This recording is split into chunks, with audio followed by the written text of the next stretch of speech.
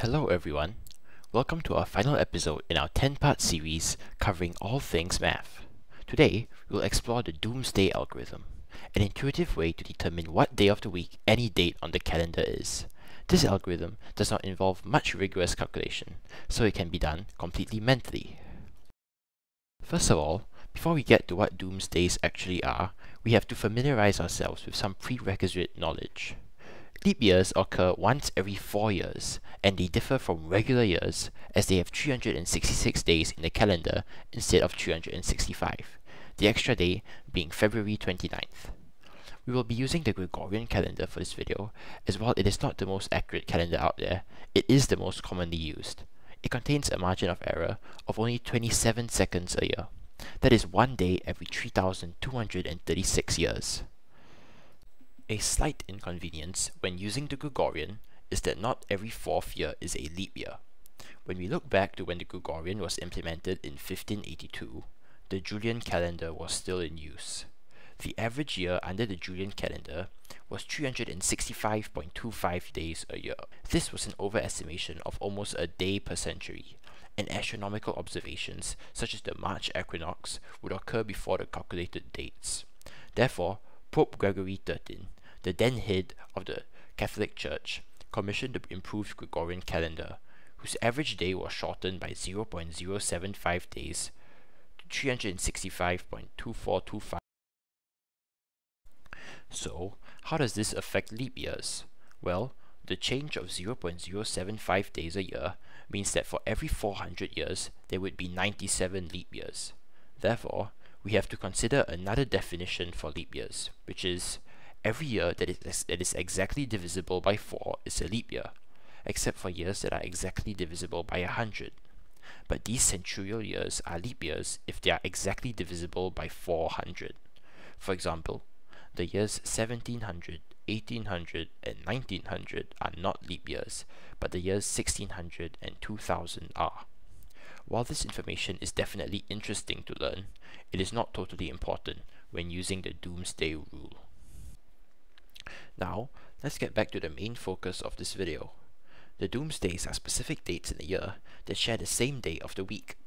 The easier dates to remember are the 4th of April, 6th of June, 8th of August, 10th of October, and 12th of December. Other dates are the 9th of May, 5th of September, 11th of July, and the 7th of November. A useful mnemonic for these dates is I work 9 to 5 at 7-11.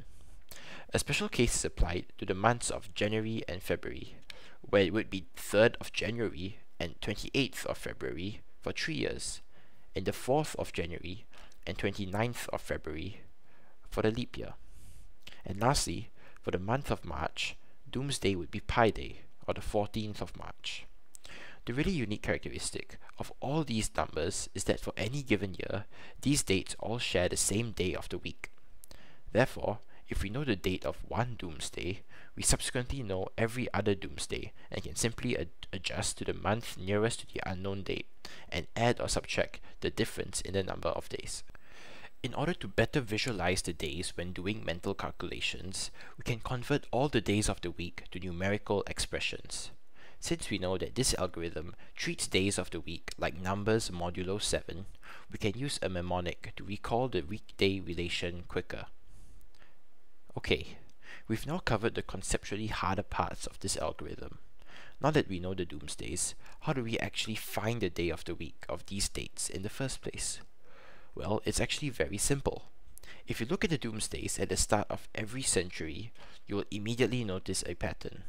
Doomsday in 1700 is Sunday, 1800 is Friday, 1900 is Wednesday, 2000 is Tuesday, and then the pattern repeats. Therefore, we can, we can identify an easy to memorize recurring pattern regarding the doomsday of each turn of the century.